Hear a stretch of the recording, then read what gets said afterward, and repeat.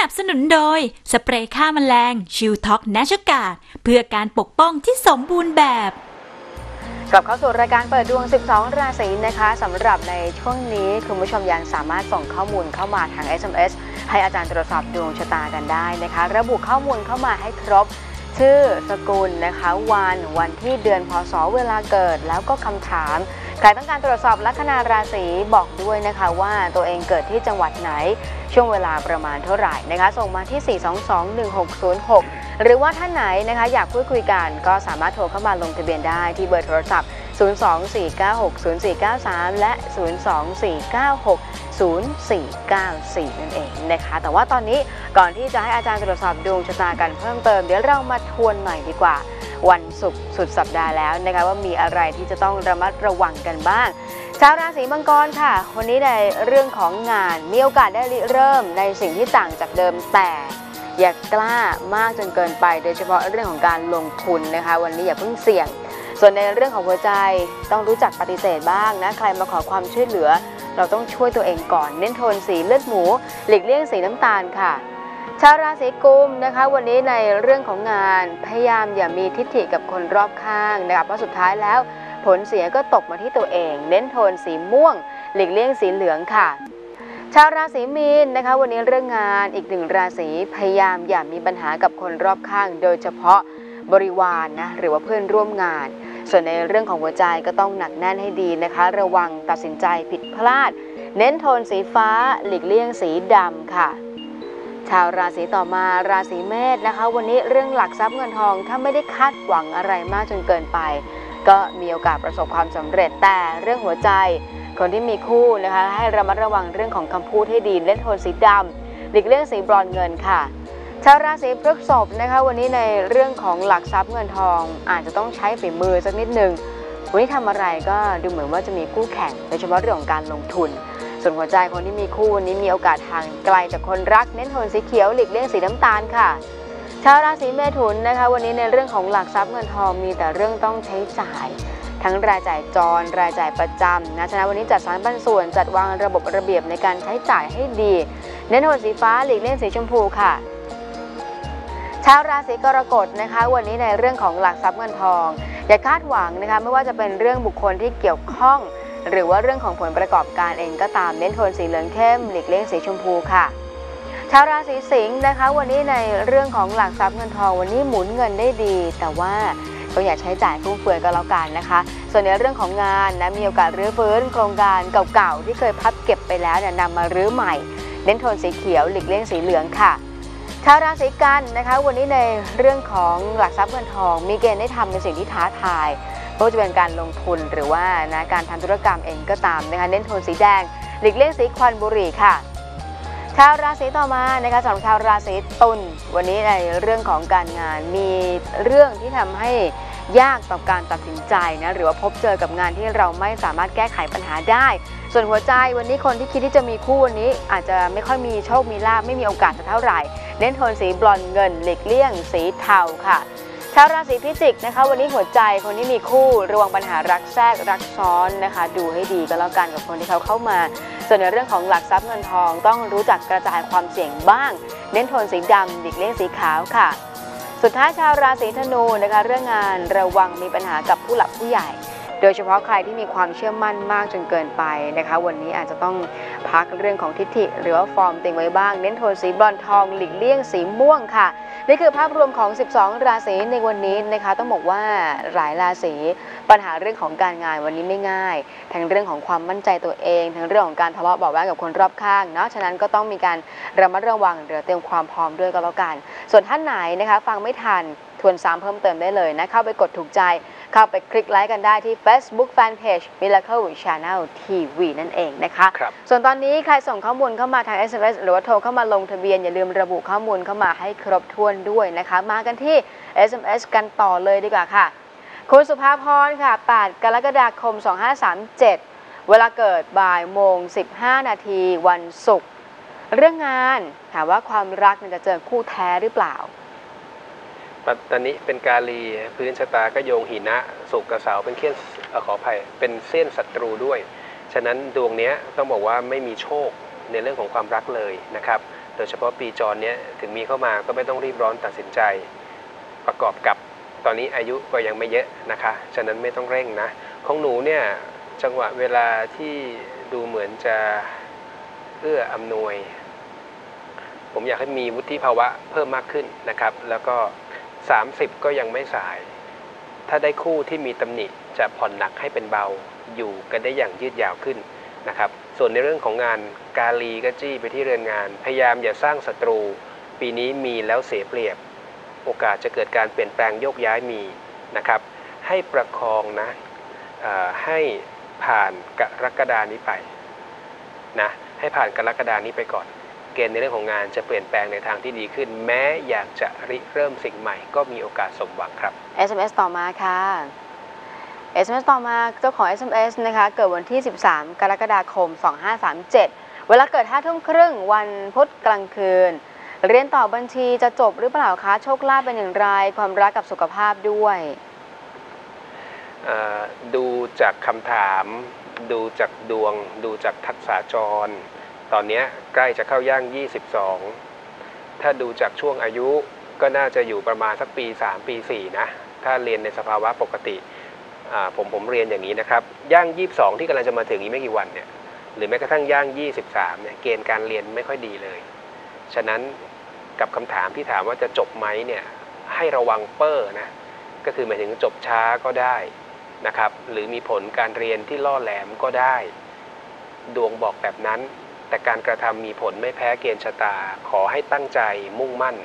และพิสูจน์ว่าผมทายผิด ผมจะยินดี หลักการทำบุญเสริมก็คือหลังวันเกิดนี้บริจาคถวายชุดสังฆทานยา หรืออถวายปัจจัยให้กับพระสงฆ์ที่อาพาธเนี่ยเป็นประจำทำอย่างน้อยสักเดือนละครั้งก็ได้อะ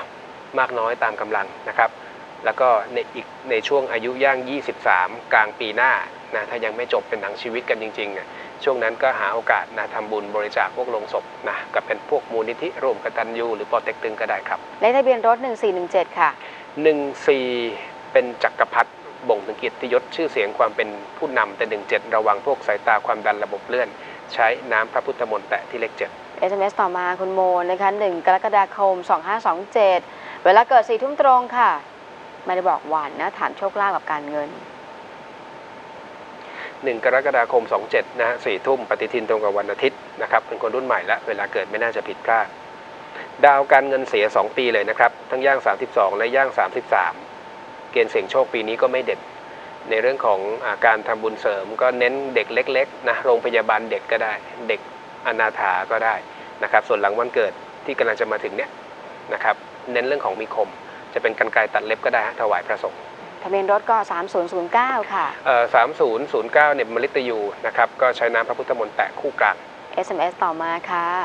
คุณรัฐพลนะคะเกิดวันที่ 13 ตุลาคม 2517 เวลาเกิดเที่ยงคืน 1 นาที ระบุว่าเป็นวันอาทิตย์ ค้าขายเกี่ยวกับอะไรดี ผมถือวันสากลนะ 17 ก็รุ่นหลังผมละก็น่าจะเวลาเกิดไม่น่าจะผิดพลาด ฟ้าสว่างไปวันอาทิตย์ คุณยังเป็นคนวันเสาร์ ในทางโหราศาสตร์ ถ้าฟ้าสว่างเป็นวันจันทร์ส่งเข้ามาถามใหม่นะครับ ค้าขายเกี่ยวกับอะไรดีพฤหัสมหาอุด ก็ธุรกิจที่เกี่ยวข้องกับสุขภาพนะวันนี้หลายท่านจริง ๆนะครับอ,อีกกลุ่มหนึ่งอันนี้เด่นกว่าโดยซ้ำไปนะ เป็นพวกสิ่งสวยงามนะครับ อาหารการกินสินค้าแฟชั่นของเล่นหนังความบันเทิง พวกหนังเกมเนี่ยแต่ไม่ใช่ธุรกิจกลางคืน แต่ยังถ้าเป็นกลุ่มหลังเนี่ยไม่ให้ลงทุนในช่วงปีจรนี้นะครับ SMS ต่อมาค่ะ คุณกมลชนกนะคะ 26 สิงหาคม 2539 ค่ะ เวลาเกิดทุ่มครึ่งวันจันทร์ ถามความรัก ปฏิทินตรงกับวันจันทร์ถูกต้องนะครับ ปัตตนิกาลีครับนะถ้ามีคู่เนี่ยประคับประคองให้ดีปีนี้ แต่ว่าข่าวดีก็คือใกล้จะสิงหาแล้วนะขอให้เชื่อในเกณฑ์ชะตา ถ้าขณะนี้ผมพยากรณ์ว่ามีปัญหาเยอะและเกิดขึ้นจริง ก็ขอให้เชื่อครับว่าหลังสิงหาไปแล้วเนี่ย ทุกอย่างจะค่อยๆ คลี่คลายในทางที่ดีขึ้นนะแล้วก็อ่าหลังวันเกิดเนี่ยสมมุติถ้าผ่านไม่ได้ หรือขณะนี้ยังโสดก็แล้วแต่หลังวันเกิดสีแตะ คุณจะได้เจอเจอคนที่ถูกใจครับ SMS ต่อมาค่ะ คุณสุนทรีนนะคะ เกิดวันที่ 19 สิงหาคม 2508 เวลาเกิดบ่าย3โมงตรงวันพฤหัสบดี ถามเรื่องการเงินค่ะ ปฏิทินตรงกับวันพระฤหัสบดีอ่าทั้งอุตสาหะทั้งกาลี ตอนนี้เงินเก็บแทบจะไม่มีนะครับ มีโอกาสจะเกิดภาระหนี้สินสภาพคล่องนะครับ ของคุณเนี่ยหาโอกาสให้ชีวิตสัตว์เดือนละสิบตัวนะ เกณฑ์การเงินในช่วงย่าง 51 หายใจหายคอคล่องขึ้น อาจจะมีนัยยะในเรื่องของการทำธุรกรรมทางการเงินสำเร็จก็ได้นะ พวกการรีไฟแนนซ์นะครับ หรือว่าเข้าหาแหล่งเงินทุนหนึ่งที่มีต้นทุนค่าใช้จ่ายที่ถูกกว่ามาโปะแหล่งเดิมที่เกิดภาระอยู่ก็ใช่มาเบอร์โทรศัพท์ก็ 96 96 เสน่ห์และความสำเร็จดี ส่วนบ้านกระทับหนึ่งค่ะ ชื่อเสียงถ่ายอาทิตย์ครับ SMS ต่อมาค่ะ คุณจิพัฒฐานะคะ เกิดวันที่ 19 เมษายน 2527 เวลาเกิด3ทุ่ม 17 นาที วันพฤหัสบดี การงานนะคะเป็นพนักงานขายอยู่ห้าง ถ้าอยากเป็นนายของตัวเอง ต้องทำอาชีพอะไร สักครู่ครับ ความจริงฟิลงานขายเนี่ย ถ้าคุณทำต่างถิ่นกำเนิดของคุณ เช่นเกิดจังหวัดกอไก่อ่าแต่นี้น่าจะเกิดกรุงเทพนะอ่าถ้าไม่ได้ทำต่างหนึ่งทำต่างถิ่นฐานสมรูปสองทำถ้าทำในถิ่นฐานอ่าตัวห้างตัวองค์กรที่คุณอยู่ ก็ควรจะเป็นลักษณะห้างที่มีต่างชาติถือหุ้นนะทุกวันนี้ก็มีเยอะเป็นสองกรณีนะอย่างใดอย่างหนึ่งถือว่าสมรูป แต่ถ้าถามว่าถ้าอยากจะทำอาชีพของตัวเอง อาชีพที่เด่นในพื้นชะตาก็ลักษณะงานขายเหมือนกันฮะงานขายตรงเนี่ยเราเป็นนายตัวเองนะนะครับหรือว่าจะทำเกี่ยวข้องกับในเรื่องของสินค้าเรื่องสุขภาพ แต่มีเงื่อนไขก็คือในแง่ของสถานที่ตั้งร้านไม่ควรอยู่ติดถนนใหญ่นะครับหรือจะทุกวันนี้พวกโซเชียลเนี่ยขายแบบไม่เน้นเน้นหน้าร้าน อันนี้ก็ถือว่าเด่นนะในพื้นชะตาครับ SMS ต่อมาค่ะคุณอ้วนนะคะ 26 เมษายน 2522 นะคะ เวลาเกิดเที่ยงคืน 50 นาที ฟ้าสว่างเป็นวันพฤหัสบดี ความรักสุขภาพแล้วก็อาชีพที่ถูกฉลกก็ถือว่าเป็นคนวันพุธกลางคืนนะพุธกลางคืนนะครับ อาชีพที่โฉลกที่สุดในพื้นชะตาศุกร์ราชาโชคฮะอยู่เรือนเงินด้วยอะอย่างนี้นะของคุณทั้งจันทร์ทั้งศุกร์ผมให้น้ำหนักจันทร์มากกว่า เกี่ยวข้องกับน้ำเนี่ยพวกเครื่องดื่มซักรีดนะครับประมงอ่าเกี่ยวข้องอะผลิตน้ำแข็งผลิตน้ำดื่มอะไรพวกนี้ก็ว่ากันไปอ่า เกี่ยวกับเด็กเล็กๆอะพวกเนอร์เซอรี่นะโรงเรียนอนุบาลปฐมวัย อีกกลุ่มหนึ่งก็ของกินสิ่งสวยงาม อันนี้คือคือกลุ่มอาชีพที่เด่นในพื้นชะตาครับเอาละนะมาในส่วนของสายกันบ้างดีกว่า สวัสดีค่ะค่ะสวัสดีค่ะจ้ะ สวัสดีค่ะชื่ออะไรคะลุงมนลาค่ะจ้ะวันเดือนปีเกิดเวลาเกิดค่ะ อ่าตีสี่สามนาทีค่ะวันที่วัเท่าไหร่ที่เอ่แปยดวันที่แปดค่ะ จ้ะ วันที่แปดพฤษภาหนึ่งเก้าวันเสาร์ค่ะ 8 พฤษภาคม 2519 ค่ะ วันเสาร์ วันเสาร์จ้ะโอเคฟ้าฟ้าสว่างเป็นเสาร์นะ ค่ะ นะ ตอนนี้คุณเองอ่าไม่ใช่ตอนนี้สิ คุณเป็นคนวันศุกร์ในทางโหราศาสตร์อยู่นะครับ ค่ะ ค่ะ เข้าช่วงอายุย่าง 40 ในดวงบอกเพิ่งผ่านเข้ามาได้ไม่อ่าเดือนเศษๆนะครับ ค่ะ ก็สุขสันต์วันเกิดย้อนหลัง ในดวงบอกว่าปีนี้เนี่ยมีความตั้งใจ อันหนึ่งก่อนจะเตือนเตือนเรื่องเงินนะ ค่ะนะตอนเนี้ยรับซ้ายจ่ายขวาจริง ๆ เข้าทางค่ะขวาออกทางซ้าย เข้าทางหน้าออกข้างหลัง เข้าข้างบนค่ะออกข้างล่างใช่แต่ในดวงบอกว่ามันมีเกณฑ์ในเรื่องของพวกยวดยานพาหนะ หรือแม้กระทั่งที่อยู่อาศัยด้วยนะ มีความตั้งใจอยากขยับขยายไหมเนี่ย ค่ะ ตอนเนี้ยก็คือย้ายมาอยู่กับแม่แล้วตรงที่ที่เช่าอยู่อะคือเขาเอาที่คืนแล้วอะค่ะ อ่าโอเค เพิ่งย้ายด้วยใช่ไหมครับ ค่ะเพิ่งย้ายมาได้ประมาณสัก อาทิตย์สองอาทิตย์เอแล้วอค่ะ เห็นไหมทุกอย่างเกิดขึ้นหลังมันเกิดทั้งหมดนะครับ จ้าก็จ้าก็เป็นไปตามดวง ค่ะ เป็นไปตามดวงนะแต่ถ้าถามว่าแต่อันนี้คือเป็นบ้านคุณแม่ถูกไหมค่ะ บ้านแม่ค่ะ เอ่อเกณฑ์ในเรื่องของที่อยู่อาศัยจริง ๆ ของคุณเนี่ยนะค่ะ อะผมพูดว่าถ้าสมมติจะเป็นของตัวเองนะครับ ก็รอหน่อย 45 กับค่ะเหรอคะ46นะแล้วอาจจะเป็นบ้านที่อยู่ในซอยนะ ที่เห็นค่ะในดวงพออะดี อ่าพอดีหนูซื้อที่ไว้แต่อยากปลูกบ้านแต่เงินไม่ค่อยมีเท่าไหร่อะ ไม่ต้องรีบนะอย่างที่ผมบอกอะค่ะตอนเนี้ยค่ะคุณไม่รู้จะเอาเงินที่ไหนมาปลูกขอโทษนะ คือพูดด้วยความเป็นใช่ห่วงจริง ๆ แต่ว่าค่ะในดวงบอกว่า 44 เต็มกับถึง 45 เต็มเนี่ยสองปีนั้นค่ะจะเป็นช่วงเวลาที่เด่นมาก ในเรื่องของค่ะที่อยู่อาศัยค่ะ นะและที่ที่ค่ะซื้อไว้เนี่ยอยู่ลึกไหมก็อยู่ในซอยก็ลึกเหมือนกันอ่านะคะก็อย่างที่ผมบอกว่าบ้านคุณจะอยู่ค่ะ ในซอย จ้า จ้ะทำอาชีพอะไร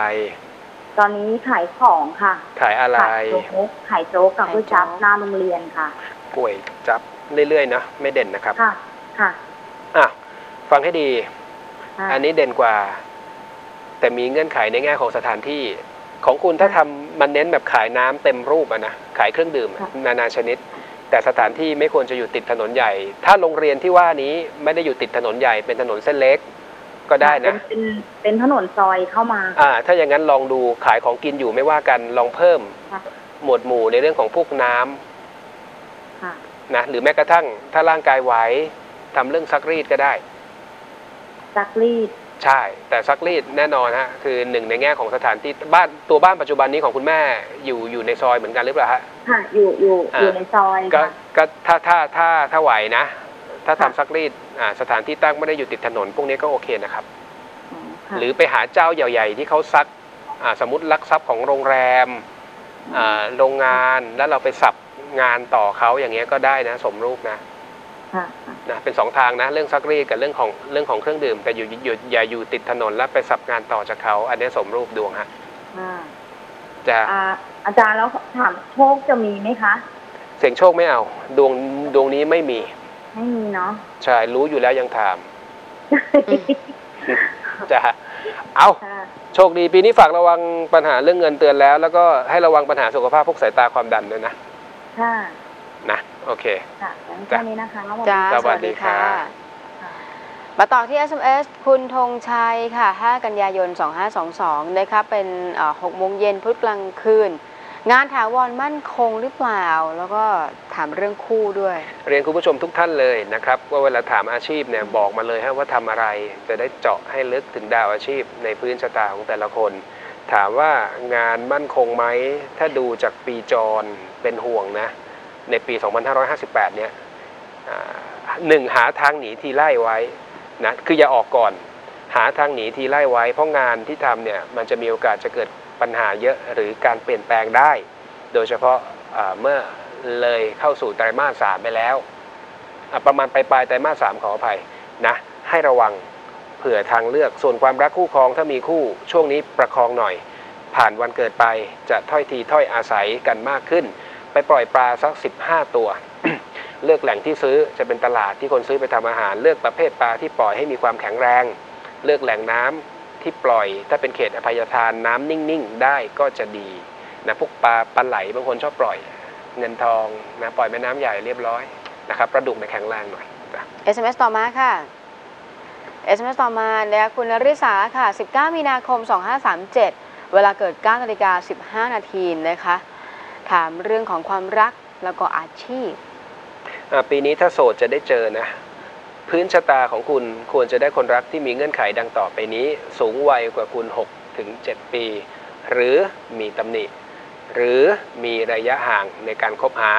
เช่นทำงานคนละที่อยู่คนละจังหวัด และหรือสุดท้ายมีเชื้อสายต่างประเทศ จะเป็นครึ่งเป็นเสี้ยวก็ยังดีนะแล้วก็เอาเป็นว่าย่าง 22 เนี้ยมีโอกาสจะได้เจอเจอ แต่ของดวงนี้แต่งช้าแล้วดีกว่านะครับ อาชีพที่เด่น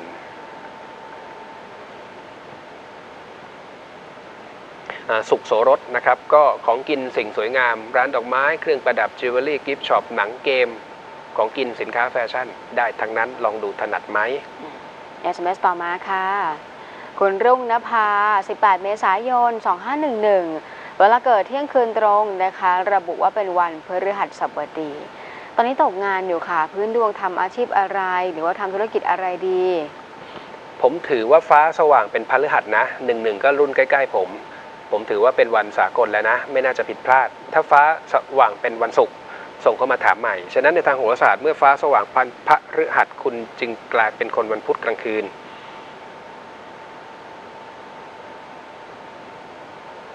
อาชีพที่เด่นในพื้นชะตา โชว์หวย โชว์หวยมินิมาร์ทสวนเกษตรค้าของเก่านะจัดสวนขายปุ๋ยนะหรือแม้กระทั่ง พวกเครื่องดองของเมาทำให้มันถูกต้องตามกฎหมาย อันนี้คือกลุ่มอาชีพที่เด่นนะครับแต่อย่างที่เรียนนะ อันนี้คือทายกรณีที่ว่าฟ้าสว่างเป็นพระหัส และกรณีถ้าซื้อรถพุธกลางคืนก็ให้ใช้ขาวอะสียอดนิยมเขาใช้คำว่าขาวอมเหลืองนะผ่านไปสักพักหนึ่งนะขาวครีมบรอนเงินใช้ดำก็ได้นะสีแดงบอลทองก็ดีครับ SMS ต่อมาค่ะคคุณเอกค่ะ 15 กรกฎาคม 2518 6นาฬิกา38 นาทีวันอังคาร การเงินกับโชคลาภ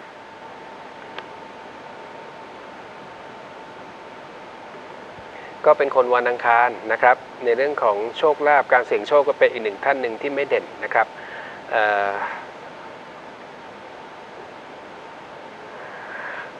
ตอนนี้ย่าง 40นะผมดูหลังวันเกิดเลยฮะดาวการเงินเสีย หลังวันเกิดมีเกณฑ์เสียทรัพย์ให้กับบุตรหลานบริวารด้วยนะ หรือแม้กระทั่งเเสียให้ในเรื่องของผมใช้คนใกล้ตัวดีกว่า อาจจะสูงกว่าเราหรือต่ำกว่าเราก็ได้นะครับ หลังวันเกิดเนี่ย หาโอกาสอ่าบริจาคเงินช่วยเหลือผู้ป่วยที่เขาไม่มีเงินในการรักษาเนื้อรักษาตัวนะผู้ป่วยอนาถาพวกเนี้ยทำมากน้อยตามกำลังครับ SMS ต่อมาค่ะ คุณวิรุณวัฒน์หรือว่าว่าวิวิวิวิรุณวัชระอะอืมสองแบบเนาะ23มิถุนายน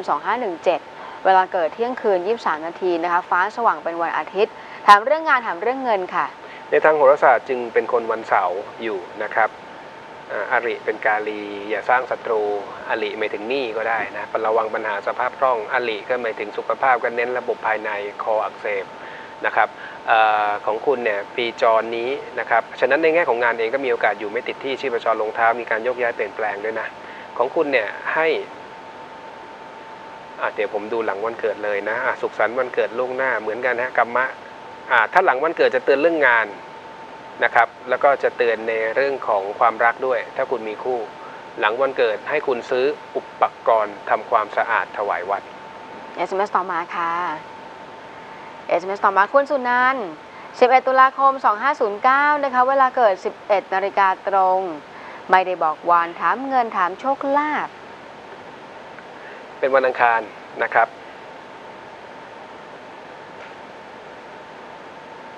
อ่า ปีนี้มีเกณฑ์ทำธุรกรรมและสมหวังนะหมายถึงถ้าจะกู้นะครับหรือว่าจะทำเรื่องติดต่อสถาบันการเงินนะในแง่ของสภาพคล่องเองปีนี้หลังวันเกิดไปแล้วไม่ค่อยจะดีนะ ฉะนั้นถึงแม้ว่าผมจะบอกว่าปีนี้มีเกณฑ์ทำธุรกรรมถ้าประเมินแล้วไม่อยากจะสร้างหนี้ก็ไม่ต้องสร้างนะ เพราะหลังวันเกิดดาวการเงินก็เสียนะครับ หลังวันเกิดหาโอกาสให้ชีวิตสัตว์ 19 ตัว เลขทะเบียนรถในยคู่แตกหัก ใช้น้ำพระพุทธมนต์แปะที่เลขเจ็ด เอาล่ะนะคะ เดี๋ยวช่วงหน้ายังสามารถส่งข้อมูลเข้ามาทาง SMS นะคะ ให้อาจารย์ตรวจสอบดวงชะตากันได้ อย่าลืมระบุข้อมูลเข้ามาให้ครบนะคะ พิมพ์ PD เว้นวรรคตามด้วยชื่อนามสกุล วันวันที่เดือนพศแล้วก็เวลาเกิด รวมไปถึงคำถามนะคะ ระบุคำถามเข้ามาให้ชัดเจนใครต้องการตรวจสอบอาชีพ บอกด้วยว่าทำอะไรอยู่หน้าที่การงาน กิจการการค้า หรือว่าค้าขายประเภทไหน ส่งมาที่ 4221606 และรวมไปถึงเราจะมาฟังเรื่องราวของเลิกงามยามดีวันมงคลกันนะคะพักกันสักครู่ค่ะครับ